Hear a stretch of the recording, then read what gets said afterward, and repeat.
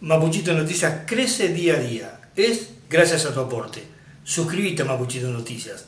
Dale Tuvimos una reunión muy particular tratando de cerrar y concretando la conclusión de seis viviendas que estamos terminando con el acompañamiento de IPPB y por supuesto del gobierno provincial, como también de dejar un municipio totalmente saneado.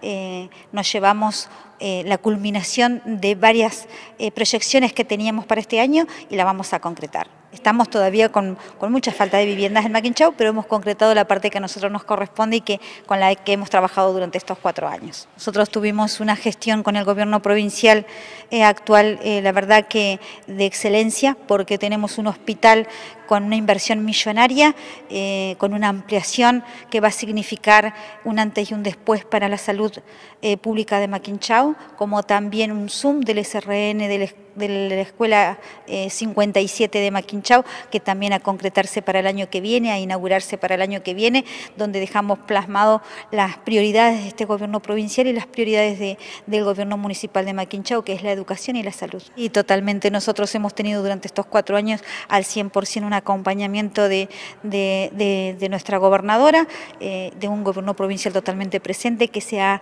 eh, no solamente se ha preocupado por Maquinchau, sino que se ha ocupado de Maquinchau.